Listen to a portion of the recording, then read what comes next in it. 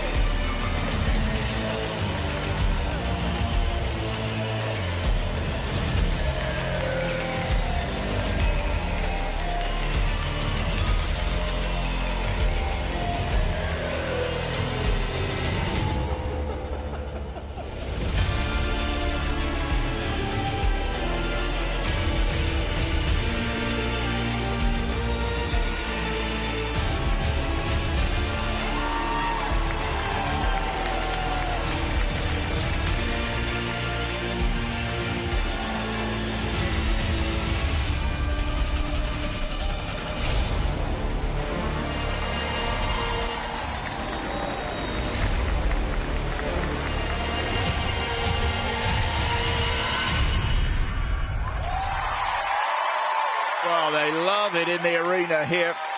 Great start from uh, Israel. Slightly different lineup to the team from the World Championships. But Andrea, always difficult going first, and they've done exceptionally well. They really have. The first element I thought was very strong indeed. An overall impression of the routine is that they had a pretty good level of difficulty, particularly on that last pyramid, the last hold. You notice that they do the unsupported handstands, the one right at the very top. That's important as well. If they miss out some of the elements, if they miss out the handstand, there are deductions or penalties of a point. But they all complemented each other so well. It's very much about a partnership and collaboration when it comes to these group events.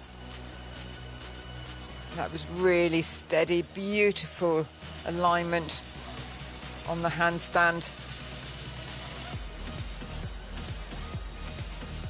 Very nicely held there. They all have to be held for a minimum of three seconds to count. We're very quickly into the mounts as well, right to the top, into the straddle lever, and beautifully into the handstand. Lovely extension of the legs and feet. And this was a very difficult one. Just a few tiny little wobbles So a few little adjustments, and you can see from the expression on people's faces that they really appreciated the difficulty of that move.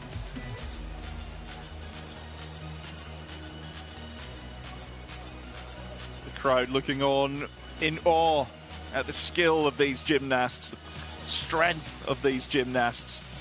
And now Israel can relax for a little on the red sofa.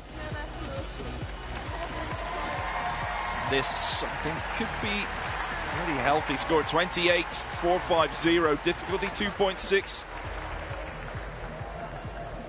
Number two, So that uh, could hold them towards the top. Throughout this balance qualification. Next up is the team from the Netherlands.